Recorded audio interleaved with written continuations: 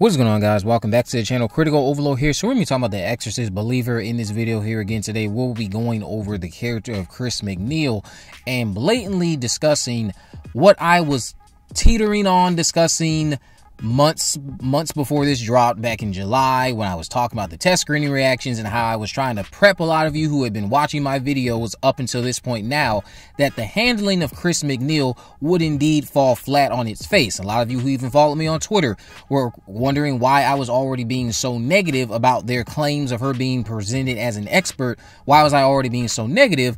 But keep in mind again, I already knew how they were going to utilize her. Granted, I still waited and watched the movie, and coming out of it, I was still one of the people who will still say it was a solid, competent enough made film.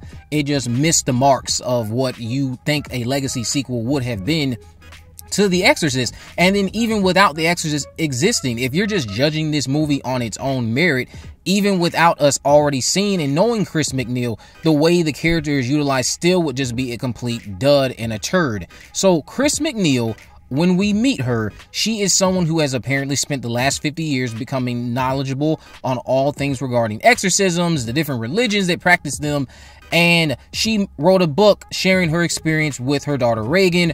Regan, of course, and her drifted apart due to this because the success created some issues in Regan's life, so her mother was cut off and Chris actually has a line where she's like she doesn't even know where Regan is at this point and she would love to see her daughter one last time. So what was so disrespectful about the handling of Chris MacNeil in the latest movie The Exorcist the Believer or The Exorcist Believer?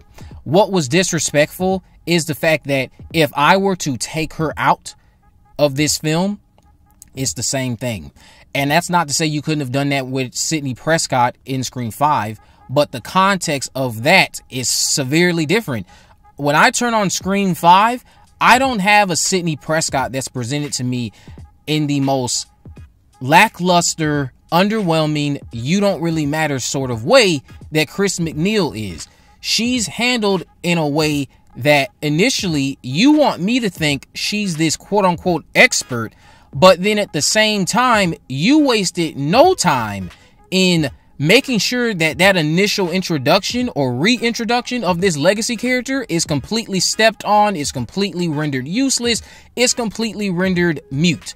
What expert walks up into a room with a possessed child and then performs an exorcism on said child after you initially stated you have never done an exorcism before. So if you have done extensive research and maybe you know an understanding of what that looks like, why would you then go a step further and try to do something you never done before all because you feel sorry for these strangers you don't know? It's just it, it's it's not sensible. And some people have used the argument, "Oh, well she's old. What else should she do?" Was Dr. Loomis not old as the series progressed, as the Halloween series progressed? I think so. He seemed fairly fairly old. Maybe not as old as Chris is in Believer, but don't that excuse doesn't even add up when you think of all these other old characters that have been used quite well in other horror projects. The fact of the matter is they wrote her in a way that says one thing about her, but then you told a completely different story with her. There is nothing about her that screamed expert. There's nothing about her that screamed, I learned a lot from what I went through with my own child and from this extensive research.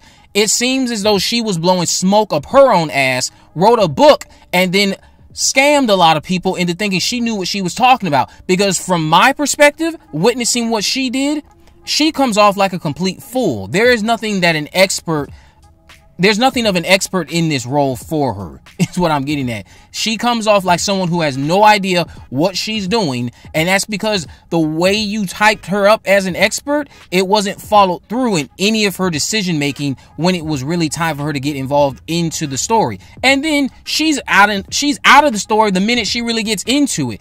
Uh catherine stabs her in the eyes with a crucifix. Victor comes to her aid, drags her out of the room, gets her in the hospital, apologizes to her for getting her involved. Then she's in the hospital again, having these Jamie Lloyd like Halloween 5 episodes, and it's it's just nonsensical. If she was having visions in that moment, what is causing that to happen? It seemed as though Chris was having visions. She's putting her hands up and shit, having visions of something happening while the girls are being exorcised. But why is that happening? What is going on with Chris? Did her research lead to her making some sort of deal with the devil or some sort of deal with another supernatural entity that now she can see things?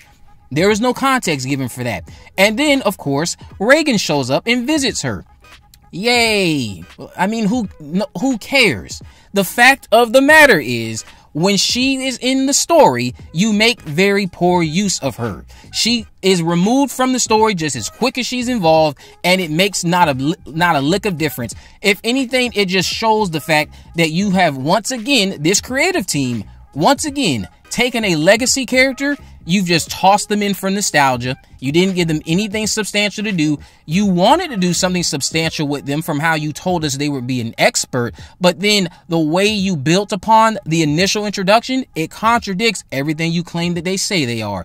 What expert, again, would go up into a bedroom with a possessed child already knowingly telling us they've never done an exorcism and then proceed to try to do the act themselves. And then not only that, foolish enough to think that the exorcism that you've never done worked. So you get real close to the child. You try to be nurturing to the child. You walk the child back to her bed, and then what happens? You get your eyes stabbed out for being one of the most dumbest characters in a horror film in 2023. I quite literally was telling people she would be the Sally Hardesty of this year, and they did not disappoint, unfortunately. Chris MacNeil deserved better. Ellen Burstyn, she did fine in the role. I don't really have a problem there.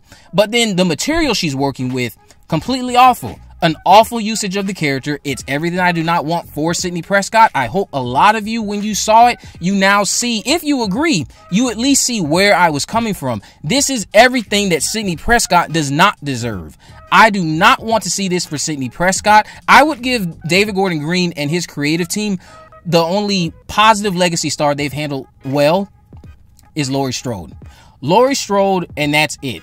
Lindsey Wallace, a waste. Marion Chambers, a waste. Lonnie Elam, who was barely a barely even a blimp in the original, waste. Uh, just so many wasted legacy stars is all I'm going to say when it comes to the creative team that jumped from Halloween over into The Exorcist and continued their streak of poor use of legacy stars. Now with the latest being Ellen Burstyn's Chris MacNeil character.